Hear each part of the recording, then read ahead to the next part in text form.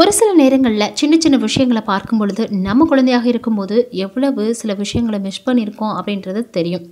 அப்படி தான் இங்கே இந்த குழந்தை ஆடுறத பார்த்தா உண்மையிலேயே நம்மளுடைய குழந்தை பருவம் ஞாபகம் வரும்.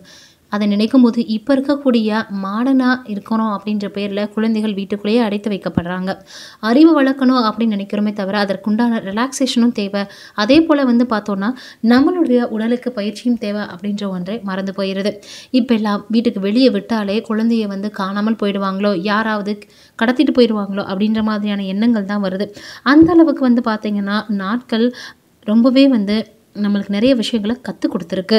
உண்மையிலேயே இதெல்லாம் வந்து பார்த்தோன்னா இப்படியெல்லாம் யாருக்கெல்லாம் நினைத்த மாதிரியாக ஆடுறதுக்கான நேரமும் அதே போல் வந்து பார்த்திங்கன்னா கொடுப்பனையும் இருக்குன்னு கேட்கணும்னு தோணுது. இந்த குழந்தை ரொம்பவே அழகாக ஆடுறத பார்க்கும்போது நம்முடைய குழந்தை பருவம் ஞாபகம் வருது. நிச்சயமாக வருங்காலத்தில் ஒரு நல்ல டான்ஸராக வரணும்னு நம்மளுடைய சார்பாக அந்த குழந்தைக்கு வாழ்த்துக்களை தெரிவிச்சுக்கும்